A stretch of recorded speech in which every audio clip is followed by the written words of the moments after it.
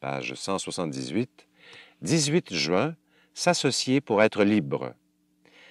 Si on accordait simplement aux humains une liberté absolue sans les forcer à obéir à qui que ce soit, ils s'associeraient volontairement pour servir leur intérêt commun. Réflexion de Bill, page 50. Quand je ne me laisse plus dicter des ordres par une autre personne ou par l'alcool, je vis une nouvelle liberté.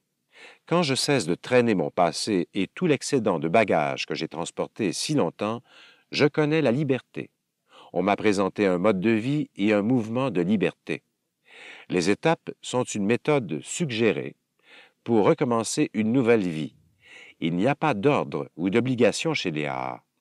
Je suis libre de servir parce que je le désire et non parce qu'on l'exige.